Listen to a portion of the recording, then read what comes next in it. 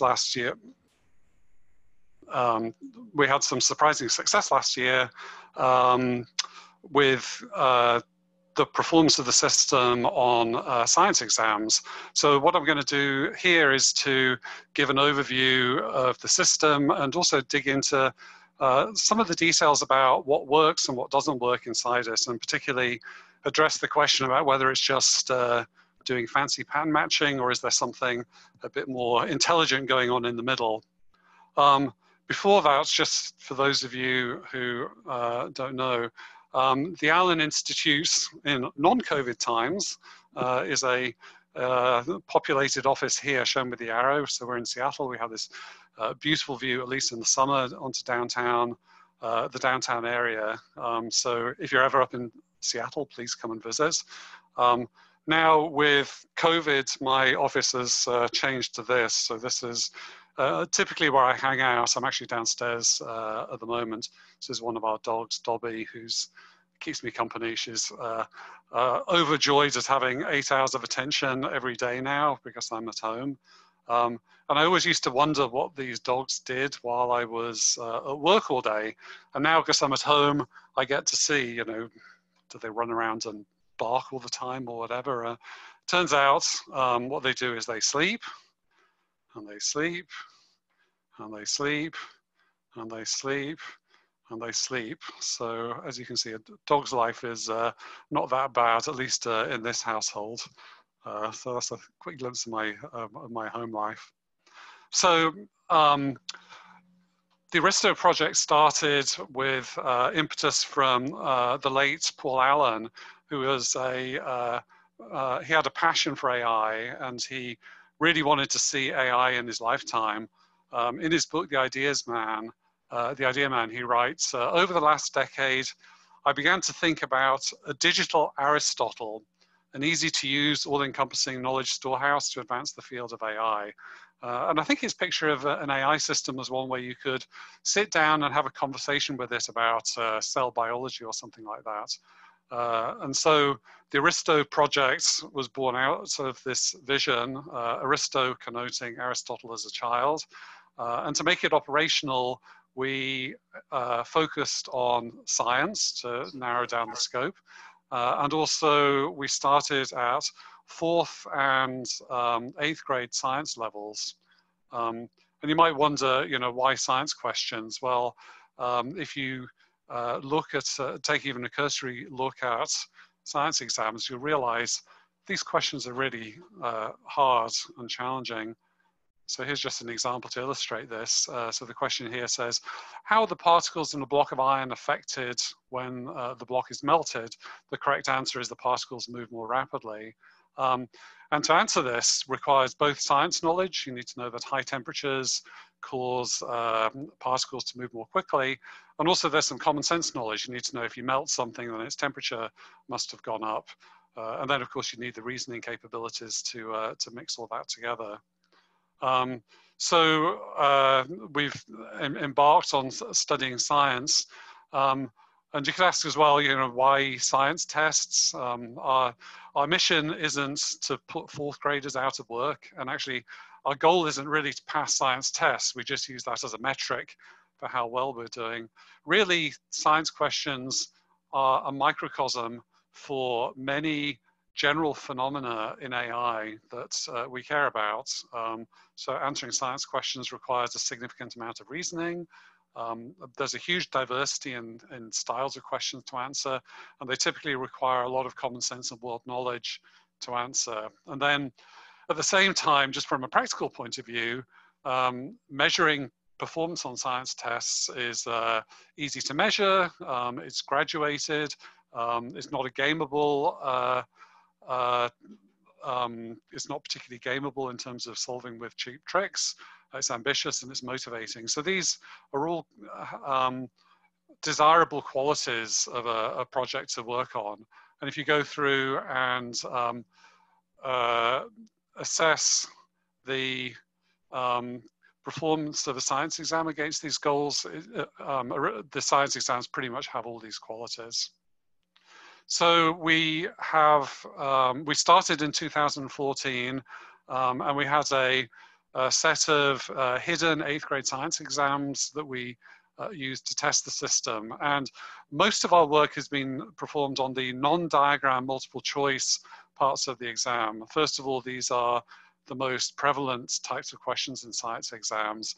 Uh, and secondly, um, we decided to avoid dealing with diagrams because they raise a whole host of separate super challenging problems that are somewhat orthogonal to the reasoning issues we were interested in. So all these numbers I'm going to show you are based on the non-diagram multiple choice subset. When we started, the, the, the first version of Aristo scored about 36%. These are four-way multiple choice, so baseline's about 25%. And then we added in some basic retrieval methods. We had some rule, rule-based systems. I'll mention those in a second. Our scores went up to about 63%. And then at that point, we um, launched the Allen AI Science Challenge. So we threw this open to the uh, community. Uh, we released several thousand eighth grade science, multiple choice science questions and asked if, uh, asked, invited other people to have a go at building a system that could answer these. And um, there was very strong uptake on this challenge. We had um, about 3,000 downloads of the uh, of, of, the data sets. Uh, we had 750 submissions uh, in the actual competition, but even then, at the end of the day, um, the best system, the, the, the winner scored just under 60% on these questions. And this led to uh, this article appearing in the business magazine saying the best AI still flunks eighth grade science, uh, reporting on that competition. And I think that reflects just on how challenging many of these science questions are to, to answer. So we uh, continued, we added in some uh, additional reasoning methods. And of course, the huge change, which has happened in the last uh, year and a half to two years, has been the advent of uh, large scale language models. And adding those into Aristo has caused this big boost in scores up to the 90% uh, level, which is really quite remarkable, particularly given that as, you, as your scores get higher, it gets harder and harder to eke out extra gains. And this huge boost is really uh, quite stunning to me, having looked at these questions for a long time, and I think reflects the the, the huge progress in the field uh, as a whole in natural language. Um, we've seen this progress in fourth and 12th grade science as well. And we, um, we also tested Aristo on the latest three exams that weren't part of the original test set. Uh, and Aristo scored 93% uh, on average on those questions. So this isn't uh, just a statistical fluke here. So um, uh, the, what I want to delve into now is just what's going on inside Aristo. How does it uh, uh, work, and uh, what's responsible for these uh, these high scores that seem to be uh, appearing? So Aristo is a um, ensemble of solvers. This is a um, oversimplified architecture of the uh, system. So there are eight different solvers that independently try to answer the questions. Um, they're loosely divided up into three families. There's the retrieval and statistics solvers, the inference solvers, and the language models. Um, I won't say much about the retrieval and statistics solvers. Uh, essentially, the retrieval solver takes a question and looks in a large corpus to see if the answer is written down somewhere, so using basic IR techniques. Uh, the statistical solvers um, try to see if there are statistical correlations between um, words in the question and words in the answer option and use that as a rather weak signal of which answer option might be uh, uh, appropriate. Um, we have three uh, inference solvers that attempts to reason with semi-structured knowledge to answer these questions. Um, and these are uh, a bit more interesting in terms of their behavior. I'm just going to mention one of these, which is called um, tuple inference. Uh, so the, the, idea with tuple inference is to create a, a large knowledge base of um, semi-structured facts extracted from our large text corpus. So these are facts stored in uh, triples and sometimes four tuples that are meant to encode the basic uh, elements of knowledge that are described in text. And then this solver tries to bring those to bear on a particular question.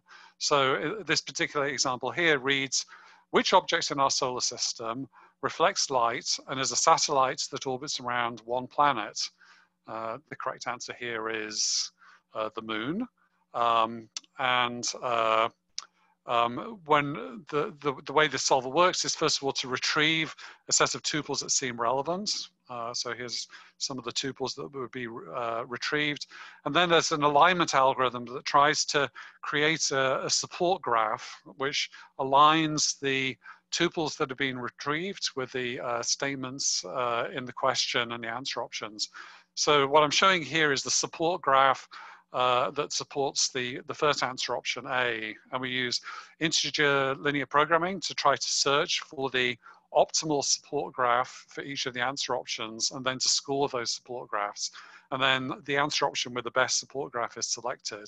And some of the constraints that the ILP system uses includes things like um, cover as many of the question words as possible, uh, at least one of the answer option words should be mentioned, one of the tuples and so on.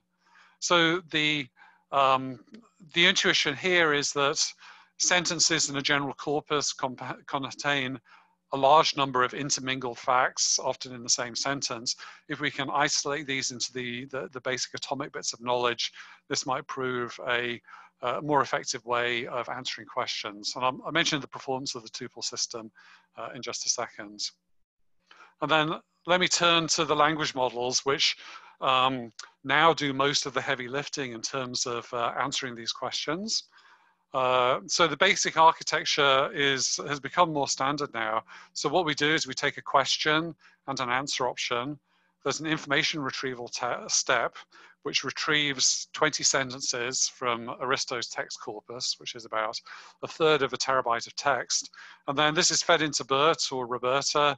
Um, you could think of BERT is essentially trying to read this retrieved text and decide whether this particular answer option is correct. And what we do is we project the CLS token to a single logit to assign a confidence to this answer option.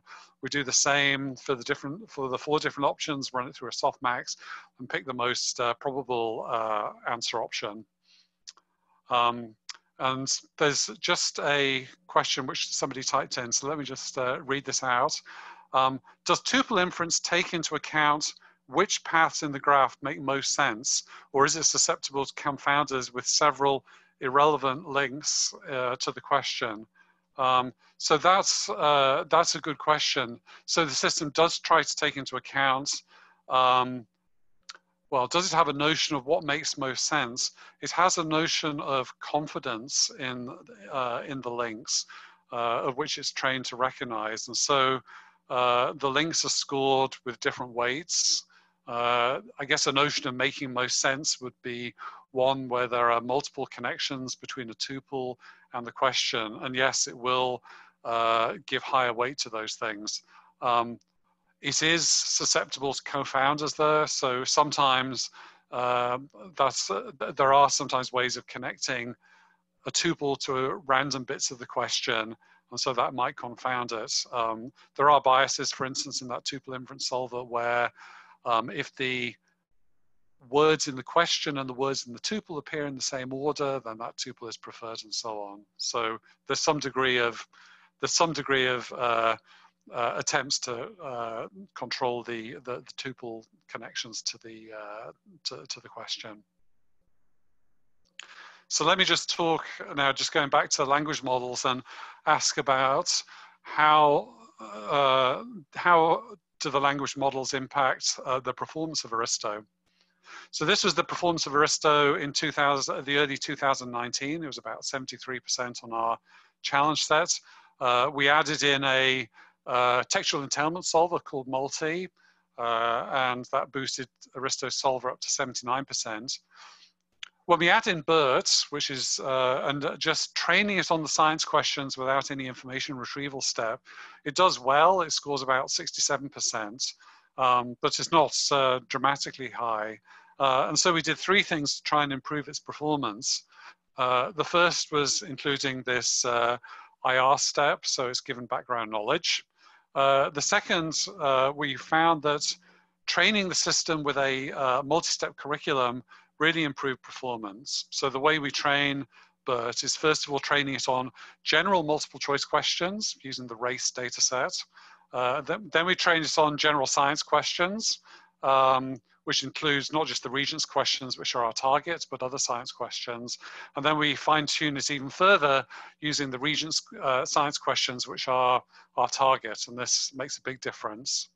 And then thirdly, we ensemble three different versions of BERT together. We use BERT cased and uncased and use two different training regimens.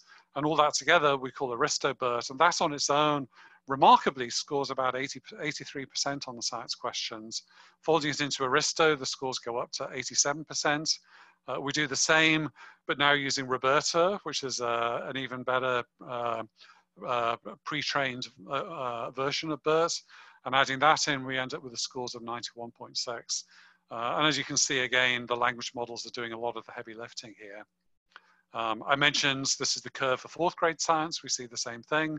And remarkably for 12th grade science, we see a similar uh, increase and the scores go up to amazingly 83% for, um, for, eighth, uh, for 12th grade science. And these are, these are pretty difficult questions, questions I sometimes uh, I'm struggling to, uh, to answer myself. Uh, this shows the performance of individual solvers on five different data sets. So we have fourth, eighth, and 12th grade questions and uh, our large compendium of questions, the easy and challenge data sets. I'm just going to zoom in on the eighth grade questions. I just want to highlight these two blue bars here. Uh, the first corresponds to Aristo BERT and the, the other one Aristo Roberta. And as you can see, the language models are doing most of the heavy lifting. And this raises some really interesting questions. Um, uh, as I hinted at the beginning, are these language models just doing really fancy pattern matching? Uh, maybe the science questions, particularly the multiple choice questions, aren't as difficult as we thought. Um, or is there something uh, more going on inside? Are there some, is there some evidence of uh, reasoning or some semantics inside? Um, so this calls for some detective work, which I'm going to delve into a little bit to, to look into this. So what's going on behind the high scores on the exams? Uh, so we've done a bunch of uh, investigations to, to try and tease apart, you know, why the system suddenly is doing so well. Um, the first uh, test we did is to look for annotation artifacts. So it's now well known that uh, neural systems can pick up on uh, uh subtle giveaways in tests, which may be totally unrelated to the task that we're trying to address. so one of the most common tests is, um, can the system answer the question just given the answer options, but not actually given the question body? So of course, no, no, no reasonable system should be able to do well on this. Um, it's been found in other data sets that actually systems can sometimes pick up on cues in the answer options to find the right one. Uh, particularly on crowdsourced data sets where Turkers, for instance, sometimes get lazy and uh, repeat the same incorrect answer options, which can be a giveaway. When we do this, when we train and test Aristo on these answer-only data sets, we find Aristo scores desirably remain pretty low. So uh, this scores about 37% on the compendium of questions we have. Um, so this is slightly better than chance, which would be 25%, but still way below the 90% scores that we were seeing with the Regents exams. And so this is actually good news. Um, it suggests that at least for carefully curated human authored exams, um, it's, um, th there aren't kind of obvious giveaways in the uh, answer style or the answer wording that gives away the right answers. Um, a second test we did is whether is whether we can fool the system by obvious, adding some obviously wrong answers. So imagine taking a multiple choice question like this one and seeing if there, instead of making it four-way multiple choice, let's see if we can make it eight-way and just do a big search for answer options which seem to uh, seem to confuse the system. So this question says, uh, the conditions of the air, the condition of the air outdoors at a certain time of day is known as what? And the correct answer is weather. So Aristo gets this right. So let's add in some uh, additional answer options. So these are kind of crazy options. We add in joule, gradient, trench, and add heat. And so no reasonable uh, student would ever pick these options. Um, we've picked these options adversarially. So we've deliberately tried and picked options that we know will confuse the system. And indeed, we find just Aristo out of the out of its original training will get confused by these things. So this suggests that it's not doing fully the kind of science reasoning we would like. Um, arguably, this is an unfair test because we've deliberately chosen options, chosen options that we know the system fails at. So what happens if we now uh, re-fine tune it on this data set? Uh, we find actually um, largely the system uh, is able to regain, regain most of its original performance uh, and it learns uh, to recognize crazy options. Uh, it may be that in the original training, it just never saw examples of crazy options being presented. Um, numerically, we see the scores drop with this um, after, uh, after retraining a little bit. It goes from 69% overall down to about 59%. Uh, but of course, remember, we're going from four-way to eight-way multiple choices, which is more difficult. And I think the conclusion here is that um, Aristo is not impervious to this kind of attack, and it suggests that it's not, you know, quite the sort of uh, the rich scientist we would like it to be inside, um, but it can be uh, it can be fooled by uh, some of these patterns to some degree.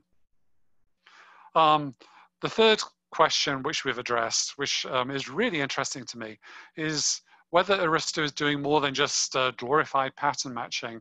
And what I'm going to do here is I'm just going to switch and uh, just show a, a quick demo um, of, uh, of, of, Aristo on a question which is uh, quite interesting. So this is the, the kind of live Aristo system. And at the bottom here, I have a question which I wanted to demonstrate. I'll just read it.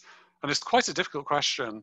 Um, it's a, an eighth grade science question. City administrators can encourage energy conservation by lowering parking fees, building larger parking lots, decreasing the cost of gasoline, or lowering the cost of bus and subway fares. So it's a little bit tricky.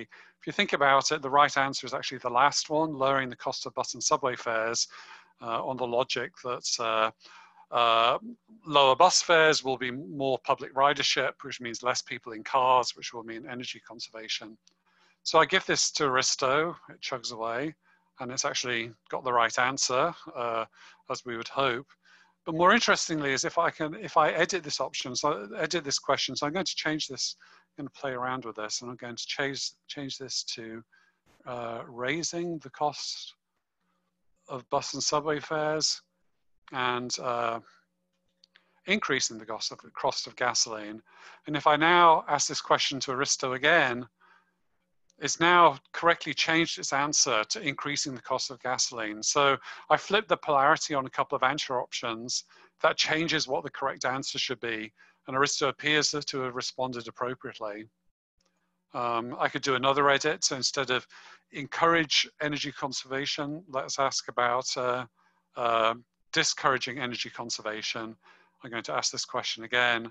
So now, of course, discouraging energy conservation, the right answer should be switched back to number four, raising the cost of bus and subway fares. And indeed, Aristo switches its answer back. So this is kind of remarkable that the system's not just uh, um, kind of glorified matching against text, but it seems to be sensitive to some of these uh, semantic nuances in the question. Um, so I'm going to just go back to my presentation now. And the interesting question is, okay, so I showed you an anecdote uh, of this example. Uh, was it just lucky or is it systematic? And so what we've done is to do a, a, a number of systematic probes to see uh, the degree to which Aristo has some of these semantic skills we would like. Um, so let's think in terms of um, a scorecard for Aristo, and we're going to probe several semantic skills here, negation, conjunction, and polarity, and so on, to see how well does Aristo know how to handle these different phenomena. So first for negation, how do we test this? Well, we're going to give it a slightly different setup. We're going to give a context. Instead of retrieve sentences, we'll give a fictitious context like this. Alan is small, Alan is tall, and so on. And then we're going to ask, which of the following is not tall? Alan, Bob, Charlie, or David? Uh, David is the uh, correct uh, the correct answer here. Uh, and when we give this question to Aristo, uh, we find, and this is, I should add, this is zero shots, so there's no fine tuning on this data set. We just give Aristo exactly as we run it on the science questions. We find, uh, surprisingly, Aristo gets 94% on this. Um, so this is quite remarkable. It seems to have some uh, pretty strong knowledge of the semantics of negation. And we see this in our science questions as well. If we add the word not in some of the multiple choice questions, almost always uh, Aristo correctly switches its answer appropriately based on that edit. So we'll give, the, we'll give Aristo, uh, using the standard rubric, an A, uh, nice work here. Um, how might we test conjunction? Well, we can do a similar thing. We can give a set of synthetic examples like this. Uh, again, we'll give a context with some uh, properties of people and ask, which of the following is big and blue? Is it Alan, Bob, Charlie, which is the correct answer, or David? So Charlie here is the correct answer. Again, giving this zero shot to the system, uh, the system gets no training on this data set. We find Aristo gets 98% uh, on this data set. Uh, as we add more conjunctions, it gets 95 down to 80%. And if we add in negation as well, amazingly, the scores still stay up in 75%. Uh, uh, and just to give you an example of four conjuncts and a negation, uh, here's an example here. We have this rather long context and we ask the question, which of the following is old and red and light and big and not short? And the answer is complex to work out here. I think I'll leave it as an exercise to the reader. But you can see here, this is a fairly uh, uh, complex Boolean combination to, to work out. And Aristo's scoring 75% of this without any explicit training on Boolean reasoning and negation. Um, so we'll give uh, Aristo a B plus here. Uh, for polarity, the examples here uh, are similar to the one I showed in the demo earlier, where I flip uh, a qualitative relationship from greater than to less than. Uh, to test this, we're going to give a, a, science context here. So here I give a context, sound has a slower speed at lower temperatures. And I'm going to ask, if Jim turns the thermostat down in his room for a while listening to music, what will happen to the speed of sound waves? The correct answer is they will slow down. So this is applying a science principle in a context. And we want Aristo not only to get this question right, but also if we flip the question, so we're going to change in this case down to up, now the answer option should change from slow down to speed up. So we have pairs of questions like this, and to score a point, it has to get both the original and a flipped version of this uh, correct. Now we happen to have a large data set that we built of this kind of uh, polarity pairs. And again, when we test Aristo, it gets about 67% on this. Uh, again, a default would be 25%. And again, this is quite remarkable. It suggests that it has some semantic knowledge in the language models about some of the polarities and polarity inversion here. So we'll give it a D plus. And we know, again, this is zero shot. We, don't, we know also if we fine tune on this data set, it can get scores up in the high 90s. Uh, but again, this is Aristo completely out of the box. Um, I'll skip describing the other uh, examples, except just to mention counting at the end. Uh, we gave some of the bAbI counting problems to Aristo. They're a little bit weird. Um, uh, they look like this. Daniel picked up the football. Daniel dropped the football. Daniel got the milk. How many objects is Daniel holding? Zero, one, two, or three. One's the correct answer. Uh, Aristo actually does terribly at this. He gets 6%. Um, it has no notion of being able to track and count objects like this. Uh, there was no data, uh, data like this in the original uh, training examples, and so it does, uh, does poorly on this. So let me just delve a little bit into where Aristo fails. So Aristo is getting 90%, which is great, um, but that means 10% of the questions it's getting wrong. So is there any um, systematic uh, uh, pattern to uh, uh, how Aristo is failing. Um, and actually, uh, before I do that, let me just um, uh, glance again at the chat window. There's a couple of other questions that appeared. Um, why do we perform ways, worse from fourth grade compared to eighth grade? I think uh, that's true. I think the, the fourth grade was like 89% uh, rather than 91. Um, I think the numbers are not um, not hugely significant, uh, so they're within uh, experimental error. Um, there is one interesting feature of fourth grades uh, when we've looked at this in a little bit more detail is that fourth grade questions tend to be more kind of common sensey and less sciencey. So although they may be easier for a person, uh, arguably there are aspects about fourth grade questions that are sometimes actually more difficult to eighth grade. For instance, uh, one of our favorite fourth grade questions were asked about roller skating races on grass versus on gravel. Um, uh, a question which requires a fairly vivid envisionment of fourth grade uh, of, of the world, um, which is easy for a fourth grader, but pretty difficult for a machine. Um, so arguably, uh, fourth grade questions, although easy for people, are not uh, uh, necessarily easier for a machine. A separate question was for polarity, the baseline would be 25% or 50%. So here the, the baseline would be 25%. So those questions were two-way multiple choice, but you have to get two of them right to get a point. So 50% uh, in each of those gives a 25% uh, baseline. Um, uh, another question re regarding counting, could it help to fine tune on, on the drop data set? Uh, yes, absolutely. Uh, we know from other work um, language models are not inherently incapable of counting. Uh, and there's been, there's been some very interesting uh, uh, demonstrations of that, particularly on the drop data set. Um, I'm sure if we fine tuned on the drop data set, you could ace the uh, counting problem.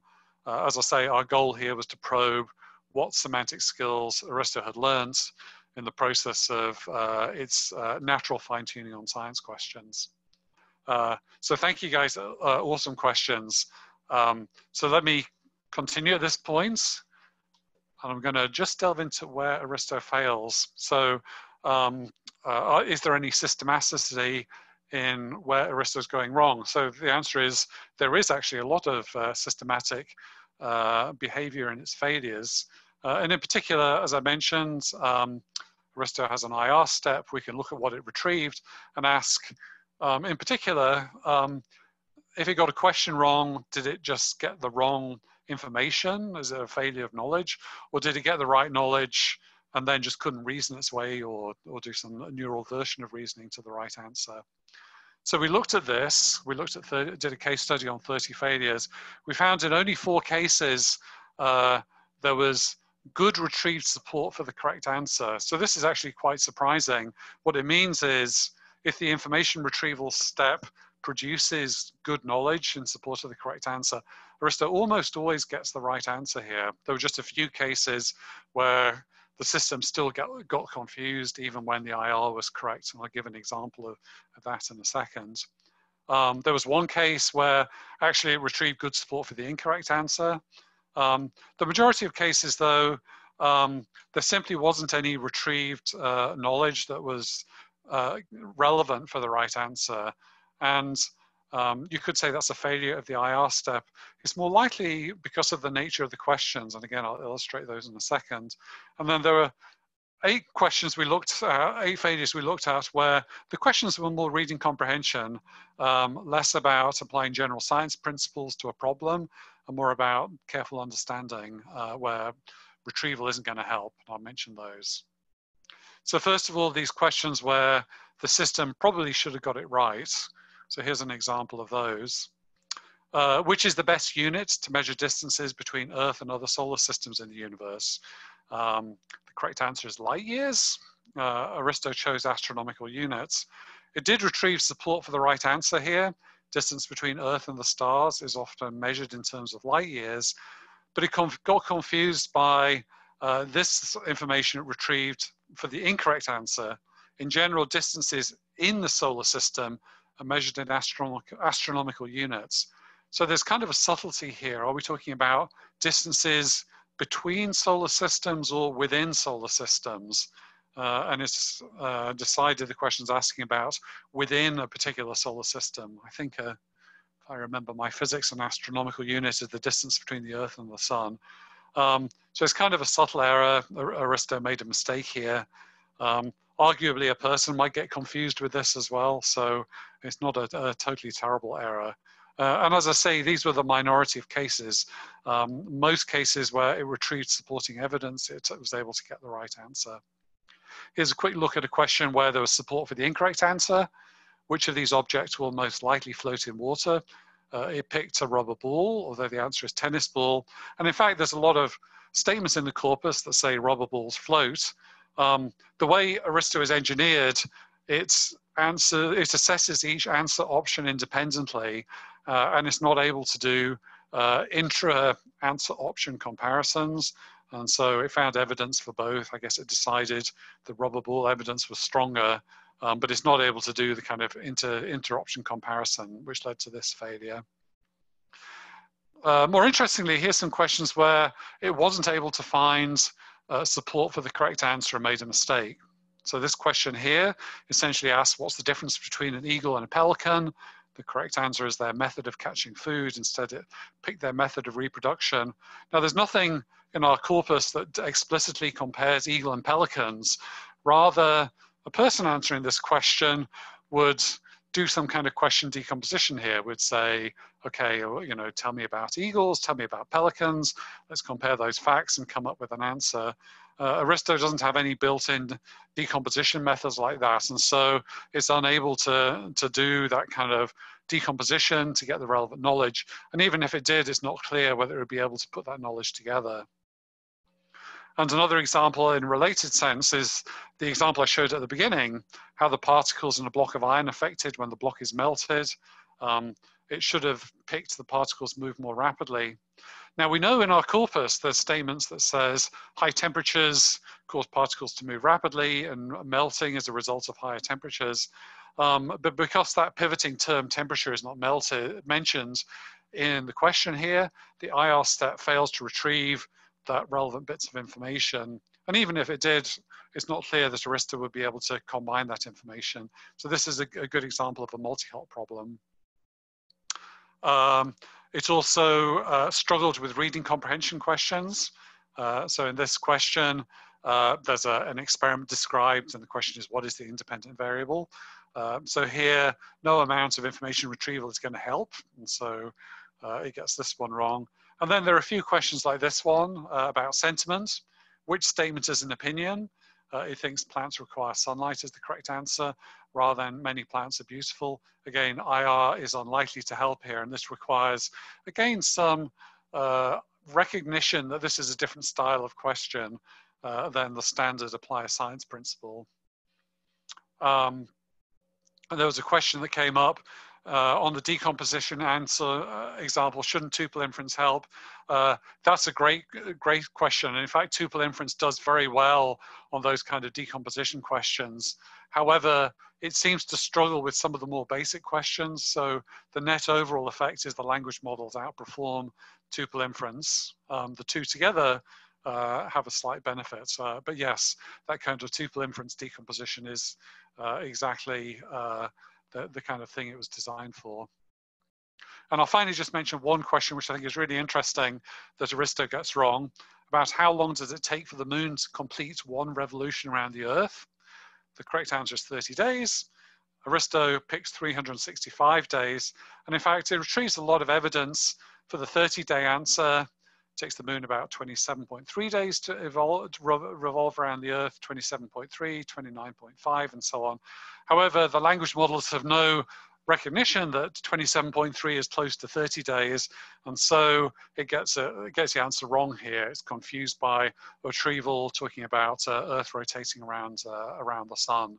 Uh, so the, again, this is an interesting example of uh, failure. So I think the net conclusion here is that although Aristo is doing well, uh, there are various families of questions which still uh, completely stump it. And what I want to do uh, in this final section now is to talk about steps forward that we're taking to address some of these more challenging questions that take us towards, I think, the, the, the bigger kind of AI dream of systems that can really understand science and reason about it. So first, this question of question decomposition. Um, as I, here's another example. What virus structure is similar in function to a cell membrane? the IR that's retrieved here is largely junk. There's nothing about the function of the cell membrane or the virus structure here. Instead, we'd like the system, as a person would, to apply some sort of problem solving method.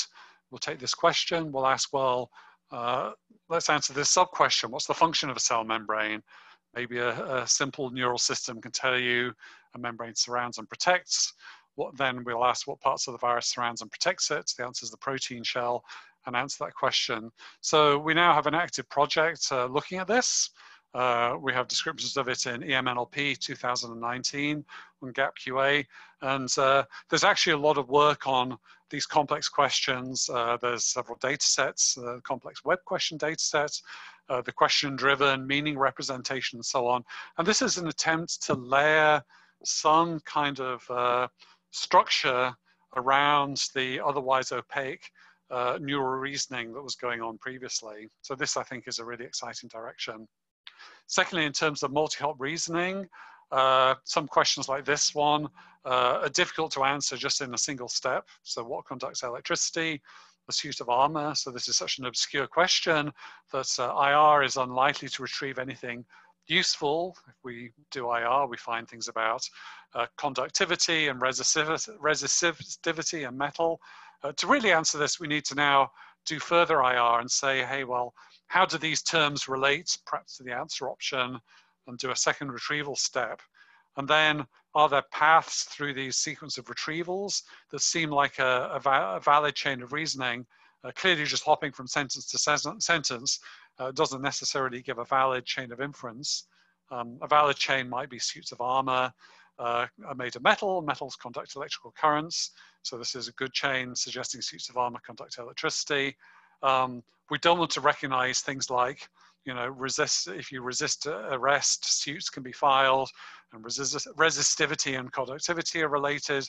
Uh, this doesn't imply suits of armor conducts electricity. And so we'd like to uh, have um, um, some way of training the system to recognize valid and invalid chains of reasoning.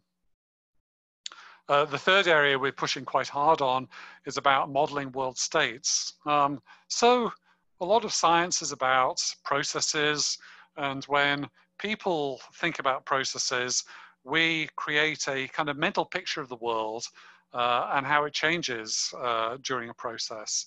Uh, and in a way, this is the heart of understanding. And if we really want to claim a neural system or Aristo really understands science, it should have some of this understand, some of this envisionment capability as well. So here's a passage about photosynthesis. As I read it, um, I might read roots absorb water from the soil. And I create this mental picture in my head. Okay, there's a plant, there's some roots, they're in the soil, and there's some water and it's traveling up into the roots and then the water flows to the leaf in my mental picture, the water flows to the leaf and so on. And so I create this uh, uh, mental picture uh, of the world that allows me to imagine what's going on and how the, uh, how the world changes from step to step. Um, and now if I ask a question like, where is the sugar created? I can easily see, sure, the sugar is created in the leaf because that's where all the ingredients are converging. Now, if we give this system to a, a typical neural question answering system, it has no idea. So we give it to BiDAF, it says lights, water, CO2. Um, the system has no idea even that there's a sequence of events. So we're doing some uh, new work now related to trying to create explicit uh, representations of the states. So we'll create a state from the first step, and then the state and the next action creates a new step, and a new step, and a new step, and so on. So uh, as a result, we can answer questions like where is the sugar created by looking at this envisionment of the world. Uh, we have a, uh, a set of two data sets we've created called ProPara, more recent, recently OpenPI, and ProStruct and ProCause are two models that do this. Uh, so this again is trying to push out a deeper notion of machine understanding of the kinds that Paul Allen was after at the beginning. And finally, there's this really interesting question about whether we can do systematic reasoning with neural systems. Uh, for example, uh, let's consider this dialogue. Suppose I ask, can you pick up a penny with a magnet? Aristo says yes. Okay, now we'd like to ask, well, why is that? And have the system give back a reasoned answer to the question. Um, for example, pennies are made of metal, metals are magnetic, Um, now, suppose I don't like that chain of reasoning, suppose I decide actually there's an error. I'd like to be able to argue back and say, well, actually not all metals are magnetic. Uh, copper is not magnetic, try again. And now the system should be able to absorb what I've told it and re redo its uh, reasoning. And it says, for instance, pennies are made of copper, coppers are not magnetic, and gives the right answer. So to support this kind of uh, reasoned explanation and this kind of uh, instructional dialogue, the neural system needs to be more than just giving a black box answer. It needs to be reasoning in a systematic way. And so can we train a model to do this kind of systematic reasoning, perhaps not using a formal representation, but using language? So if you wanted to do this, how might you train a system? Well, we need some training examples, and they might look something like this. So here's one training example. We're going to tell the system metals are magnetic, nails are made of metal. Is it true that nails are magnetic? And the label we want the system to predict is true. And just to make sure it's not just using its pre-trained background knowledge, we also want it to behave differently under this, these conditions. So we're going to tell it metals are not magnetic. So this is a counterfactual. Nails are made of metal. Is it true that nails are magnetic? We want the system to give the answer false. Uh, so can we create a whole bunch of examples of this kind of systematic reasoning uh, and have the system learn to answer questions in this way? So we've created a system called Rule Taker, which attempts to do this. Um, the way we do this is we uh, start with a, uh, um, uh, we generate a, uh, a theory in formal logic, uh, again, about a fictitious scenario with people and attributes. Uh, and then we convert it into templated natural language. So it consists of a set of facts, Alan is blue, and so on, a set of rules. And now we're going to ask a question against this natural language theory. Is Bob green or not? Uh, and what's the label? Is it true or false? Well, we can assign a label because we have the formal equivalent of this theory. We can give it to a re formal reasoner and get an answer. So here the answer should be true. And if you look at the natural language, you can see how that's the case. Bob is big. The rules say big people are rough. Another rule says rough people are green, and therefore Bob is green. So all this together constitutes one training example.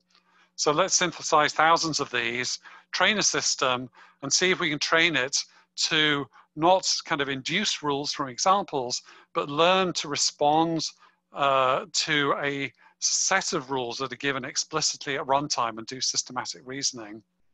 And so I'm going to switch again now and just give a quick demo of this. Um, and this is our um, uh, rule taker system. Uh, and this, again, provides uh, some quite interesting examples. So what I'm going to do here is I'm going to give some rules to, uh, to rule taker. So I'm going to type in, um, let's say, uh, metals conduct uh, electricity. And we'll say, uh, um, let's see, iron is a metal and uh, insulators do not conduct electricity. And uh, now we'll say uh, nails are made of iron. Now, can it reason with these rules and give the right answer if I ask, is it true that nails conduct electricity? So I'm going to submit this, and it comes back with the answer true. Now, suppose I change this, let's say nails are made of plastic, and I'll say plastic is an insulator. Now, if I resubmit this query, we find rule taker has now changed its answer, uh, reacting to the changed facts and rules. Uh, and similarly, I can add in a counterfactual fact. So let's say um, counterfactually, plastic is a metal, although it's not really. And now from this reasoning, the system should reason, nails are made of plastic, which is the metal, which conducts electricity. Again, if I give this example, now rule taker has returned the, the answer true. So this is an illustration that we can uh, surprisingly train neural systems, not just to answer questions, but reason in a systematic way uh, using a set of rules that we present it. So I'm just going to go back to my um, original slideshow here. And I'll just open the chat. I'm sorry, excuse me, jumping around with questions. There's another question which somebody asked about modeling states. Have we considered uh, an injecting an explicit memory within language models? Um, so uh, yes, that's exactly the way our models do that. Um, the earlier, sorry, this is going back to about modeling states. Our earlier systems uh, did create a model of states uh, using uh, a special neural, neural architecture. Our new work is working with transformers to include uh, memory blocks, uh, in, indeed similar to uh, Jonathan Barrett's recent work with neural systems with memory blocks. And I think that's exactly the, the right way to go. Um, just to uh, uh, finish off this uh, this description about reasoning with rules.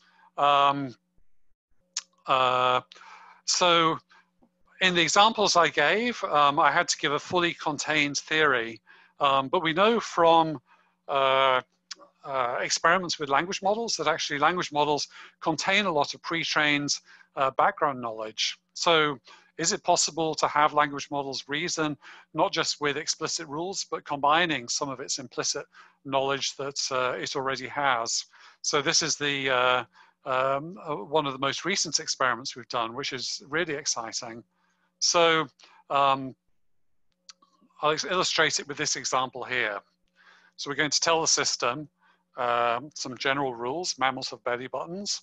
Fish do not have belly buttons. A whale is a mammal. And we're going to ask, does a whale have a, belly, have a belly button? So we know we can train a neural system to do this kind of reasoning. This is what rule taker does. Now, suppose we withheld the fact a whale is a mammal. What we'd like the system to do is to say, okay, I have some of the knowledge, but actually I already know from my pre-training that a whale is a mammal. And so I should be able to combine that basic knowledge with the uh, knowledge I've told it and come up with the right answer. And then if we do these kind of experiments, uh, we also should compare with just uh, a prior knowledge, you know, does it already, did it already know this? What would the prior be? And so we trained a system to do this by using a blend of training data. Uh, we use a 20 question data set for basic question answering. Uh, we synthesize a bunch of training examples like this, where we withhold some of the facts that we'd like it to learn, uh, we'd like it to use, that we expect it to have in its background knowledge. And then we train it on general rule reasoning using our rule taker data set. And what we find is um, uh, on we give questions with the full knowledge. It does almost perfectly, uh, as, uh, as we've found out. Um, if we just look at its prior knowledge about the questions we give it, it does 65%. Uh, so it does have some prior knowledge about some of these tricky questions we're going to provide. Um, but we do find uh, when we give partial knowledge, the scores go up to 89%. So this provides some uh, fairly strong evidence that the system is not just reasoning with the rules we give it, but also some of its background knowledge. And we could ask, okay, it's got 89%, it's not 100%, you know, what accounts for this 11% gap? Uh, so we probed some of the 11% of questions that fail. So uh, let's, for example, suggest, uh, let's uh, imagine this example failed. Um, the system gave the wrong answer. Uh, we wanted it to use its knowledge that we hoped it had, that a whale is a mammal, but did it actually have that pre-trained knowledge? Well, we can explicitly probe for it by asking the question answering system ex explicitly, is a whale a mammal? And what we find in almost every case where the system fails the complex question, it was because it actually had the wrong uh, prior belief about some of these implicit facts that we needed to, that it needed to use. Or in other words, if the implicit knowledge uh, its implicit beliefs about the world were correct, it gets the right answer 99.7% of the time. So this is a great example that the system appears to be reasoning, reasoning systematically, combining its implicit and explicit knowledge. So let me just finish at this point. Uh, uh, to try and summarize the main points here, Aristo's had surprising, surprising success. And I think one thing that language models have shown is that structure is not essential for many tasks that uh, kind of old folk like me used to think was essential. Uh, and I've also shown that language models are doing way more than just pattern matching. There's some amazing skills that these language models have. Um, but I've also shown there's uh, a bunch of types of questions uh, that these um, language models still struggle with. Uh, and so what do we need going forward? Uh, I would posit we want to reintroduce some notion of rational inference if we're ever going to be able to understand what our machines are doing and be able to have a dialogue with them and be able to correct them, but perhaps not using formal uh, formal reasoning as we've been uh, uh, we've thought in the past, but using more language-like representations. And I've illustrated several steps uh, that we've been taking in that direction. And at this point, I'll stop. Thank you very much. All right, thank you so much, Peter, and right on time too. Um, I think because do you have a a, a, um, a one-on-one right now? Um, no, I have some extra time. I'm happy to stay on the line and answer further questions if necessary. Yeah. So does anyone have any questions? Feel free to uh, uh, raise their hand.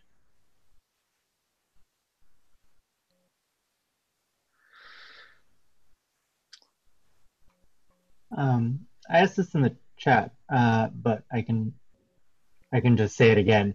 So when you did that uh, example with the energy conservation, there were actually multiple answers at the end uh, that were correct. And when you looked at the confidences, actually a few of them were, were pretty low, you know, in the 10% range, while the, the correct one was, I think, above 50%. So could you speak a little bit more about confidence cal calibration? I know you mentioned a little bit about multi-answer being bad for Aristo, but uh, I think that seems like a, another frontier in this type of thing where there are multiple answers and you really have to separate the right from the wrong. Uh, and I think the way we do these hierarchical softmaxes is sort of does us a disservice in this.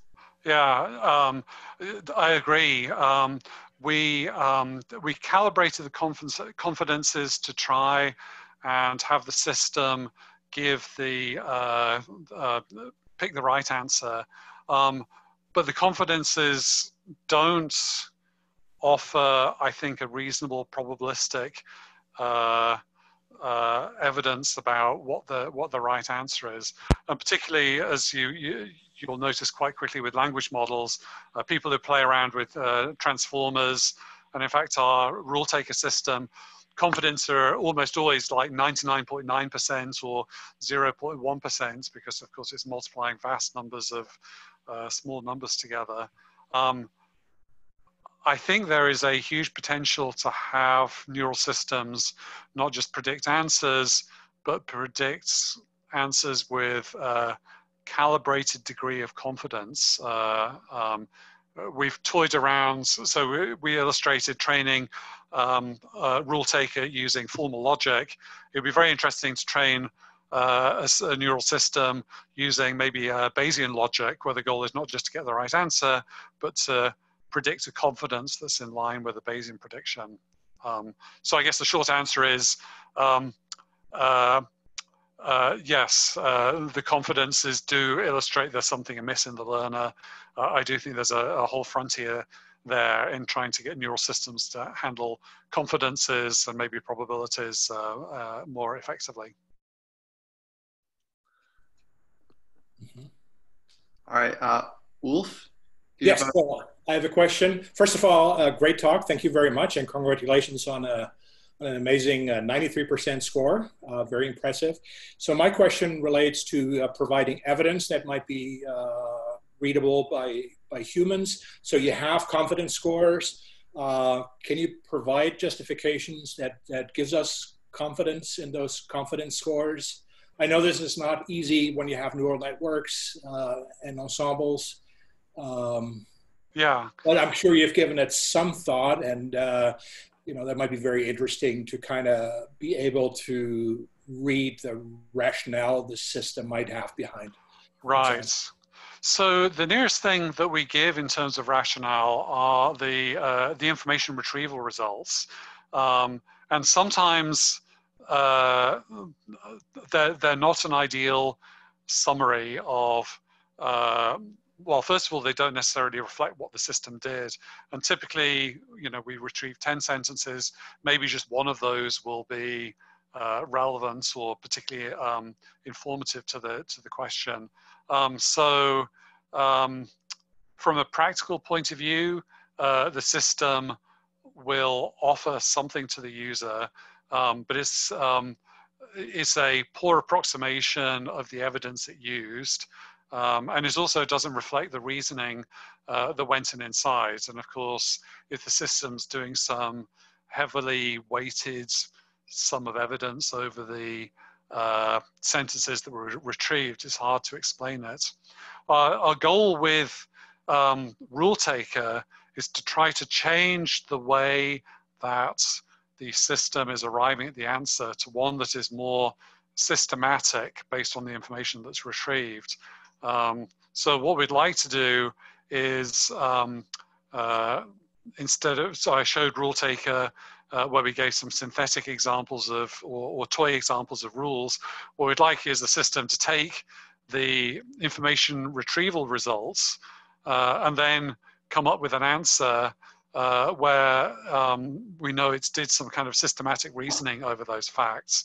And we found uh, with RuleTaker, it is possible to more accurately pinpoint which of the uh, rules it actually used in the um, in the reasoning it apparently did uh, by doing ablations. You can do leave one out, testing, find which rules actually make a difference, and highlight those in an explanation.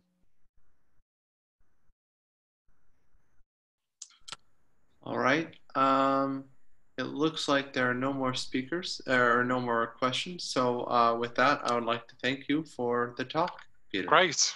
Um, thank you very much for listening. Thanks for the awesome questions uh, uh, on the way through as well. Uh, it's uh, great to have some interaction, uh, um, even at a distance. Absolutely. All right, I'll stop recording now. And with that, I think I'll, I'll stop the meeting. All right, thanks, and I'll see see.